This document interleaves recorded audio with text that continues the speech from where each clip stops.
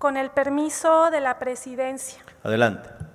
Eh, Almirante José Rafael Ojeda Durán, secretario de Marina, bienvenido, bienvenidos y bienvenidas todas eh, los integrantes de la Secretaría de la Marina, así como de las Fuerzas Armadas. Compañeras y compañeros legisladores, es para mí un grato honor ser la voz de este grupo parlamentario y participar en esta sesión solemne en representación de las y los diputados del Partido del Trabajo, en la que se conmemora el 200 aniversario de la Armada de México. El día 4 de octubre de 1821 se fundó esta noble institución que desde sus orígenes ha estado vinculada a las distintas etapas del desarrollo histórico de nuestro México.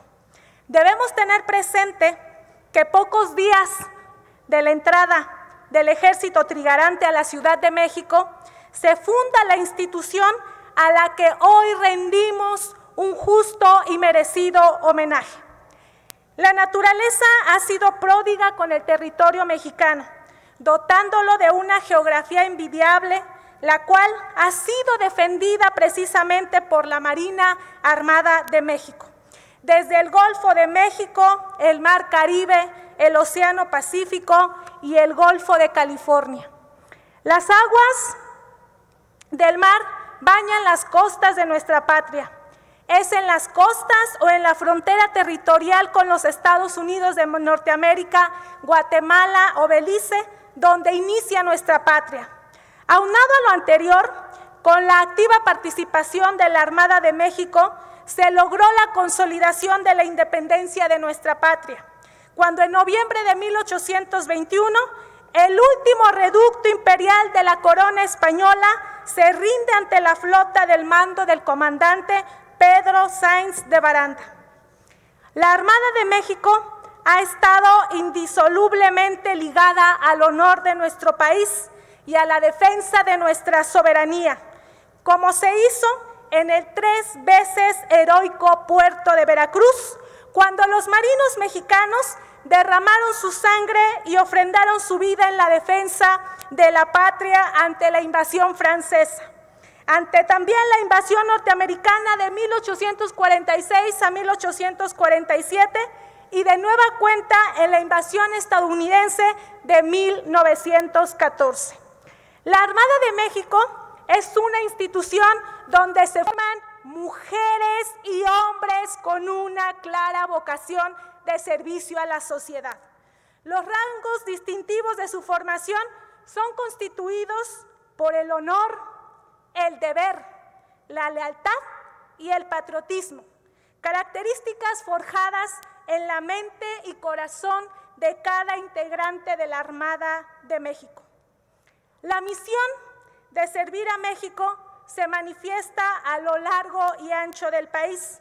En casos concretos, como recién acaba de ocurrir en el noroeste de nuestro territorio por los efectos del huracán Pamela, en donde los integrantes de la Armada de México inmediatamente acudieron a prestar su valioso auxilio a la población civil afectada por este desastre natural. En el Poder Legislativo hemos sabido interpretar las nuevas necesidades que se imponen a la Armada de México en el servicio a la patria. Por ello, recientemente aprobamos la nueva ley orgánica de dicha institución para adecuarla a los requerimientos del siglo XXI. Además, se han modificado otras leyes que amplían las atribuciones de la institución en temas aduanales y de vigilancia de los puertos. Por otro lado, en la próxima discusión del presupuesto, y como bien lo comentó el orador que me antecedió, el cariño se tiene que notar en el presupuesto. Y es así como nosotros tenemos un presidente de la República que no solamente le tiene cariño a esta institución, también le tiene mucho respeto. Y tan es así que en el presupuesto de egresos de la Federación para el ejercicio fiscal 2022 y a propuesta del presidente de la República, aprobaremos 2.273 millones de pesos más al presupuesto de esta Secretaría, lo que significa lo que significa un incremento de hasta el 2.6% respecto al 2021. Sin lugar a dudas, una institución que cumple 200 años debe tener la capacidad de adecuarse a los nuevos tiempos de la sociedad mexicana.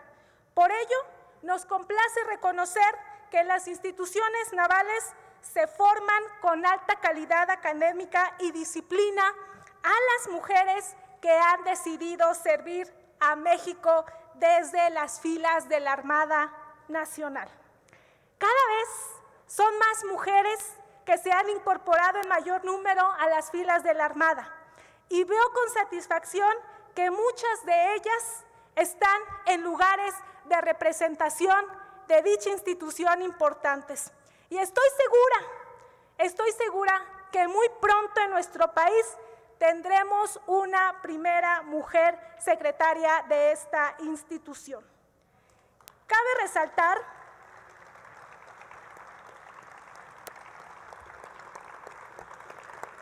Cabe resaltar que a mis espaldas se encuentran los muros de honor, en donde esta soberanía rinde homenaje a los héroes de México.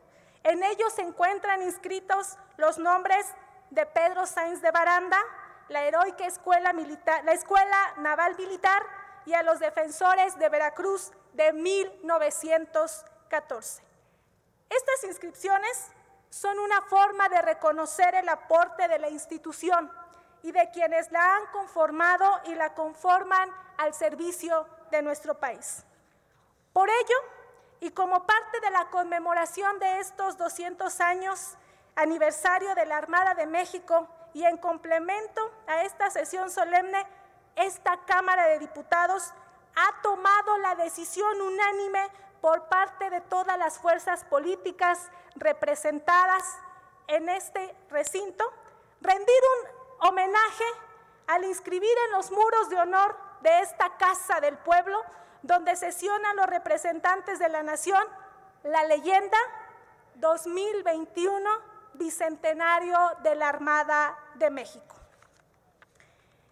Señor secretario, almirante José Rafael Ojeda Durán, las diputadas y los diputados del Grupo Parlamentario del Partido del Trabajo, le pedimos sea usted el conducto para hacer llegar a las mujeres y hombres que pertenecen a la Armada de México una calurosa felicitación por este bicentenario exhortándolos a que sigan cumpliendo patrióticamente su deber para lograr un México justo e igualitario. Al lado de esta institución, que se caracteriza por la defensa del honor de México, todas y todos los mexicanos, sin perjuicio de las diferencias políticas que tengamos, nos debe unir el trabajo en favor de nuestra patria, por nosotros, pero más que nada por las futuras generaciones. Algo que todos admiramos en los desfiles del 15 de septiembre, donde se conmemora nuestra independencia, es la gallardía con la que las y los cadetes de las escuelas navales, así como los efectivos de la Armada, desfilan conmemorando nuestras gestas libertarias. Hoy reconocemos la visión y misión de los marinos sobre surcar los mares defendiendo nuestra soberanía. A ellas y a ellos los exhortamos a mantener el honor heredado por nuestros antepasados y mantener viva la esperanza, porque mientras exista el mundo, no acabará la gloria ni fama de México Tenochtitlan. Esta frase es la misma que se le atribuyó al último Tlatuani Cuauhtémoc, aquel que hizo todo lo humanamente posible para defender a su pueblo. De la misma forma, los exhortamos a seguir siendo garantes de la soberanía y libertad de nuestro pueblo y nuestra patria. En las diversas zonas y regiones navales, los elementos de la Marina son baluarte en la defensa de nuestra integridad territorial y de la defensa de nuestra libertad. Lo mismo hombres y mujeres en activos todos los días, todos los días dan su mayor esfuerzo y son capaces de dar la vida misma con el propósito de mantener la soberanía y el honor de nuestra nación. A todos ellos los exhortamos a que no duden en poner lo mejor de sí para seguir construyendo esta cuarta transformación y lograr un México justo y democrático, sin corrupción, donde la justicia y la igualdad sean el común denominador entre los mexicanos. ¡Que viva el bicentenario de la Armada de México! ¡Larga vida a la Armada de México! ¡Que viva México! Es cuanto, diputado presidente. Muchas gracias.